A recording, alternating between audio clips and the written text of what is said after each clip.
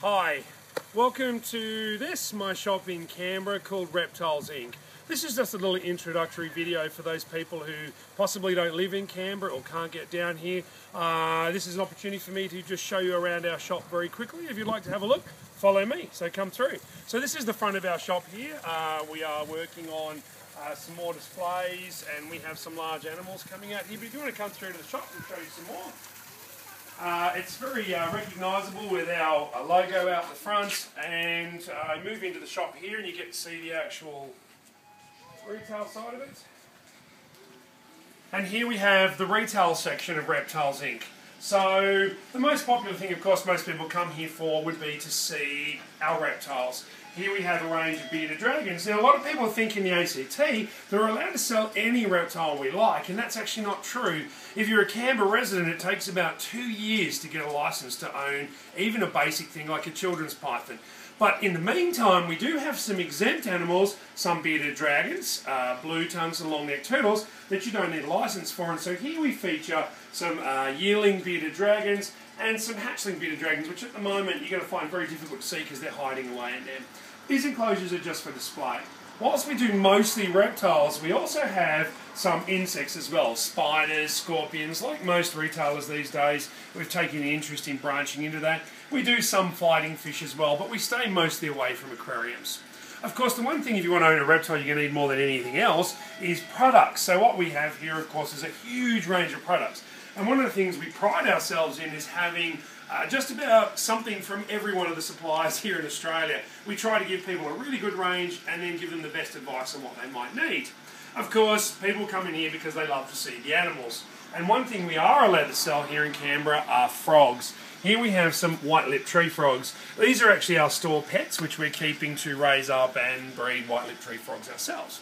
One of the other animals that we get asked for a lot here in the ACT are long-necked turtles. And this display enclosure here behind the counter uh, shows you just some of our medium-sized eastern long-necked turtles.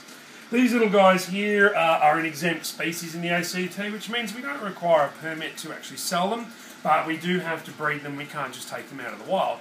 So long-necked turtles uh, are very difficult uh, when they're young to keep, but this size are uh, probably a lot easier, so we tend to feed, focus on this size a bit more. Um, one of the other things about Reptiles Inc. that a lot of people may not realise, apart from the reptile, uh, retail, is if you come through here, uh, one of the features of our new location that we like so much is that we actually have this courtyard. So if you come out here to the courtyard, you'll actually see the area that we use for doing live shows. So Reptiles Inc. has been doing live shows for over five years now, and we feature uh, crocodiles, pythons, and other reptiles like that, and we educate people on them. This here is actually our show area. If you come through and have a look. This has uh, only been open since September this year, uh, last year, sorry, 2011. This is actually our seating area where we host uh, educational birthday parties and uh, school talks and shows. And we talk to people about how they keep their reptiles. We also have a bit of fun with it and, and have exhibits and parties here as well. Um, while they're here, uh, the people get to also look at things like our breeding enclosures. This is actually where we breed some of our eastern long-necked turtles. We've had long-necked turtles now for over 30 years, and uh, we find they breed best when they're outdoors. Um, the other thing people like to see when they come here as well is even though none of these animals are actually for sale, we do actually have a large outdoor breeding area here also for some of our reptiles, uh, blue-tongue lizards, shinglebacks, uh, and blotched blue tongues, which are also species that we're allowed to sell here in the ACT without even requiring a permit. Uh, again, as long as you don't go uh, catching them. At the moment, most of our animals are down for the night because it's quite late in the evening here, so everything's pretty much gone to sleep. So Reptiles Inc. not only retails and educates, we also breed and manufacture. So if you come through here for a quick sneak peek, we'll actually show you our breeding room. So just in here is the Reptiles Inc. Uh, breeding room where we have some small lizards, but mostly live food, crickets, uh, cockroaches, mealworms and stuff like that. So we don't do a lot of that. We mostly breed just for our own customers and our own animals.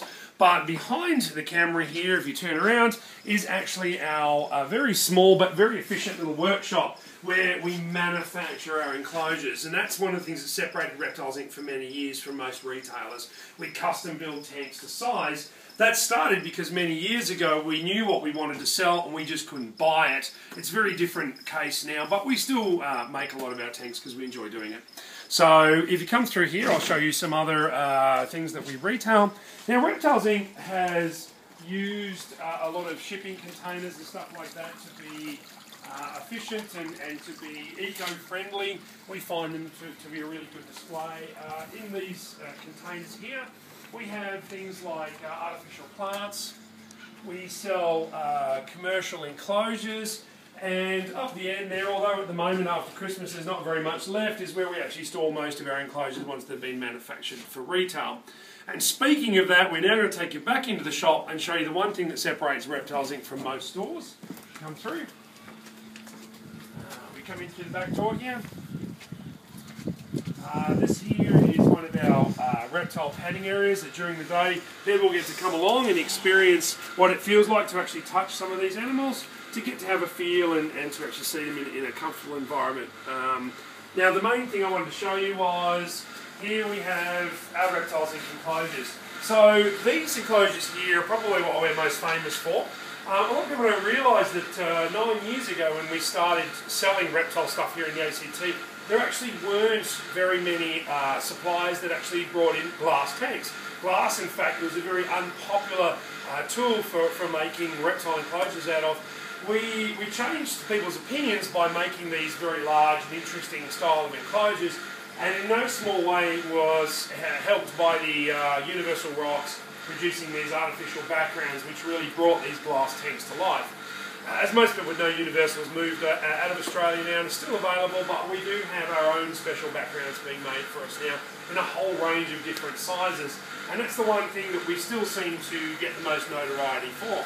So um, anyway, this has been Reptiles Inc. Just a very quick uh, overview what we hope to do, if you keep watching this website uh, and using this scan bar, is to show you the development of our reptile centre, which will be ready, available uh, hopefully by mid-2012. And we like to show you step by step how we build that, and that's alongside uh, the retail section here. But in the meantime, uh, this is just giving you a small overview of our shop, and we hope to catch up with you at the expos. So thank you for watching, and we'll see you later. Thank you.